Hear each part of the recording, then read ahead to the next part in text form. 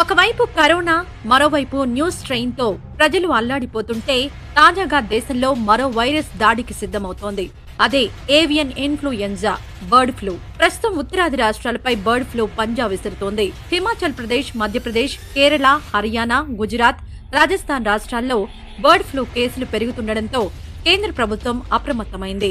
ప్రస్తుత పరిస్థితులపై ప్రజల్లో అవగాహన కల్పించాలని అంతేకాకుండా ఎప్పటికప్పుడు ఫ్లూ నివారణ చర్యలు చేపట్టాలని ఆయా రాష్ట్రాలకు సూచనలిచ్చింది అలాగే కేంద్ర పశుసంవర్ధక శాఖ ఎల్లప్పుడూ పరిస్థితులను పర్యవేక్షించేందుకు ఢిల్లీలో బర్డ్ ఫ్లూ కోసం ప్రత్యేక కంట్రోల్ రూమ్ ఏర్పాటు చేసింది. అలాగే చనిపోయిన పక్షులను ప్రోటోకాల్ ప్రకారం పూడ్చిపెట్టాలని ఆదేశించింది. బర్డ్ ఫ్లూ వ్యాప్తి చెందకుండా నేషనల్ పార్క్స్ వన్యప్రాణుల అభయారణ్యాలు తగిన జాగ్రత్తలు తీసుకోవాలని తెలిపింది.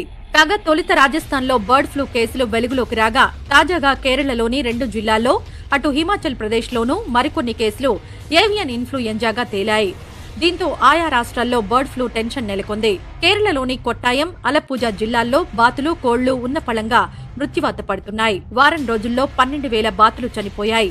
వాటి శాంపిల్స్ను ల్యాబ్లకు పంపించగా వాటిలో ఏవియన్ ఫ్లూ కారక H five N eight virus ఉన్నట్లు గుర్తించారు. ఇది చాలా ప్రమాదకరమైన వైరస్ అని పక్షుల్లో వేగంగా వ్యాప్తి చెందుతుందని పరిశోధకులు తెలిపారు. దీంతో కర్ణాటక తమిళనాడు రాష్ట్రాలు కూడా ప్రస్తుత పరిస్థితులపై దృష్టి సారించాయి. కాగా వలస పక్షుల వల్ల బర్డ్ ఫ్లూ ప్రమాదం పొంచి ఉన్న నేపథ్యంలో తెలుగు రాష్ట్రాల పశుసంవర్ధక శాఖ అధికారులు కూడా అప్రమత్తంగా ఉన్నారు. ప్రజలకు పలు సూచనలిచ్చారు బర్డ్ ఫ్లూపై తెలంగాణ ప్రభుత్వం అప్రమత్తమైంది. వెటర్నరీ భవన్లో బర్డ్ ఫ్లూపై అత్యవసర సమీక్షా సమావేశం నిర్వహిస్తున్నారు మంత్రి తలసాని శ్రీనివాస్ యాదవ్. ఈ సమావేశానికి వెటర్నరీ యానిమల్ హస్బెండరీ శాఖ ఉన్నతాధికారులు హాజరయ్యారు. రాష్ట్రంలో బర్డ్ ఫ్లూ రాకుండా నివారణకు చేపట్టాల్సిన చర్యలపై చర్చించారు. వలస పక్షుల రాకపై ఆరా తీసి అప్రమత్తం కావాలని సూచించారు. ప్రతిరోజు పౌల్ట్రీ ఫారాల్లో చనిపోయే కోళ్ళ శాంపిల్స్ వీబీటీఐ పంపి పరీక్ష నిర్వహించాలని అధికారుల్ని ఆదేశించారు. బర్డ్ ఫ్లూ విషయంలో ప్రభుత్వం అనేక జాగ్రత్తలు తీసుకుంటుందన్న ఆయన పదమూడు వందల మందితో ఏర్పాటు చేసిన ప్రత్యేక టీమ్స్ రాష్ట్ర వ్యాప్తంగా ఉన్న ఫామ్లలో తిరుగుతూ సూచనలు చేస్తున్నట్టు వెల్లడించారు. అయితే వలస పక్షుల ద్వారా కొన్ని ప్రాంతాల్లో ఎఫెక్ట్ ఉండొచ్చనే అనుమానాలను వ్యక్తం చేశారు తలసాని. బర్డ్ ఫ్లూ వస్తుందంటూ ఎవరూ భయపడాల్సిన అవసరం లేదన్నారు. ఓవైపు కరోనా కలవరం మరోవైపు బర్డ్ ఫ్లూ భయపెడుతోంది. బర్డ్ ఫ్లూ కారణంగా నాలుగు రాష్ట్రాల్లో చికెన్ అమ్మకాలపై నిషేధం విధించారు. ఎందుకంటే కోళ్ళ నుంచి ఇది వేగంగా విస్తరించే అవకాశం ఉంది. కోళ్ళు మాత్రమే కాదు ఇతర పక్షులు చేపల విషయంలోనూ జాగ్రత్తగా ఉండాలంటున్నారు. మరోవైపు బర్డ్ ఫ్లూ కోళ్ళ ద్వారా మనుషులకు వచ్చే ఛాన్స్ ఎక్కువగా ఉంది. ఈ వైరస్ కోళ్ళకు సోకినప్పుడు రెండు రకాల లక్షణాలు కనిపిస్తాయి.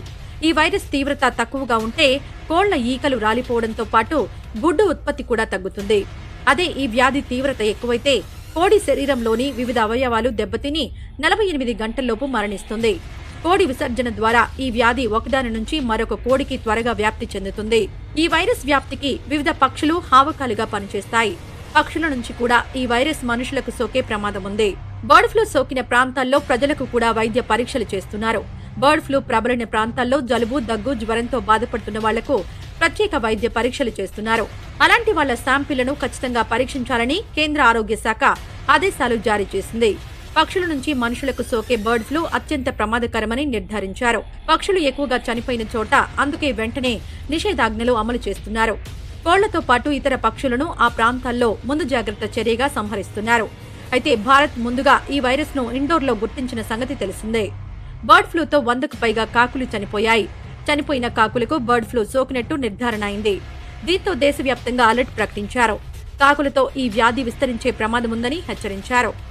బర్డ్ ఫ్లూ కలకలంతో ఇండోర్ నగరం పరిధిలో ఐదు కిలోమీటర్ల మేర కర్ఫ్యూ విధించారు. బర్డ్ ఫ్లూ సోకిన పక్షులను గుర్తించడానికి ప్రత్యేక కార్యాచరణ చేపట్టారు.